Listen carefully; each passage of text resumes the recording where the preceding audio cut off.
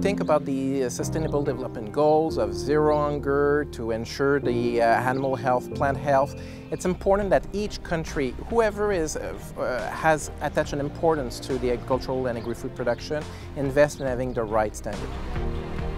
We think that by uh, increasing the capacities of developing members and LDCs to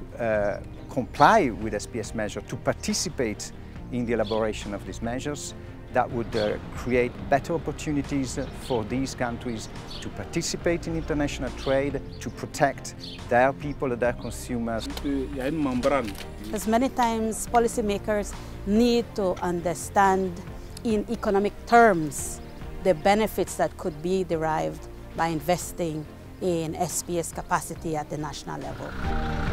Many of the producers are actually small and medium-sized enterprises and they really need to build capacity to be able to share in the benefits from participation trade. Aujourd'hui, mobiliser davantage de moyens sur des projets novateurs à grand impact dans les chaînes de valeur où beaucoup de petits producteurs interviennent va constituer, me semble-t-il, un enjeu important. Et de ce point de vue, c'est un appel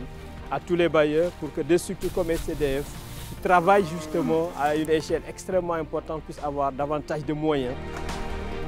For us, STDF is a, is a key conveyor between the public and the private sector on the ground for the SPS agreement. The STDF uh, is really having this unique catalytic, catalytic role of uh, you know, bridging this complex world of rules and regula regulations at the international level to the practical action on the ground, and I think that is, that is so needed. The donors are there, uh, the developing country representatives are there, the partner organizations, the standard setting organizations, we all get together and we can talk about that. And that's the beauty of that, is that it brings us together and we can talk about the issues, we can avoid duplication and we can build synergies on each other's projects. And the platform that it provides for us to participate and articulate our needs and making sure that we're ahead and we're doing,